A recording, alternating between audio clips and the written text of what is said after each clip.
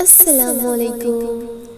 جو اللہ نے تم سے لیا تھا، اب اس کو ہی بہتر بنا کر واپس لوٹا دیا جائے گا۔ اب وہ دیر نہیں کرے گا۔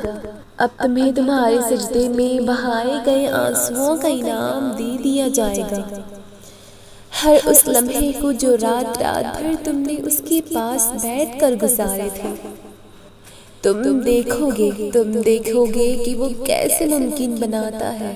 ان اندھیری راتوں کے بعد بہت جلد تمہارے لیے سویرا کن کی خوشخبری لائے گا۔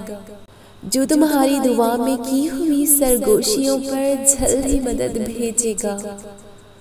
تمہارے اس صبر پر جلدی قبولیت کا پیغام آئے گا، جس کو تم ناممکن سمجھتی ہو۔